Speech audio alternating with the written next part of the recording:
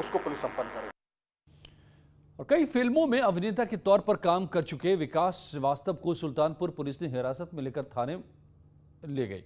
बताया जा रहा है कि भोजपुरी फ़िल्म में शूटिंग के दौरान विकास ने शराब पीकर हंगामा शुरू कर दिया था। पुलिस ने विकास का मेडिकल कराया, जिसमें शराब पीने की पुष्टि हुई।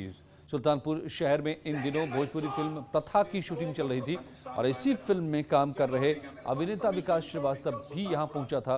बीती रात शराब पीकर विकास ने हंगामा किया, मारपीट की।